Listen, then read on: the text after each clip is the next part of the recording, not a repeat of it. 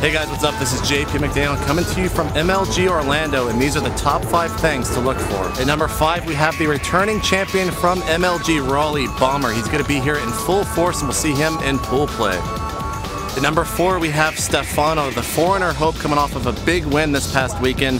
How's he going to do here in MLG? We'll have to wait and see.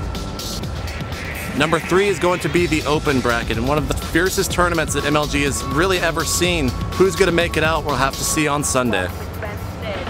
At number two, Pool D is the definition of group of death. This is one of the sickest groups to ever happen at MLG, and we cannot wait to see the matches this weekend.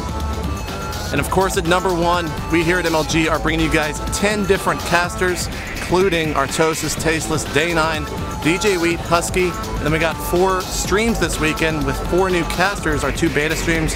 We'll be doing matches from the open bracket. It's going to be a ton of fun. We'll see you guys there this weekend.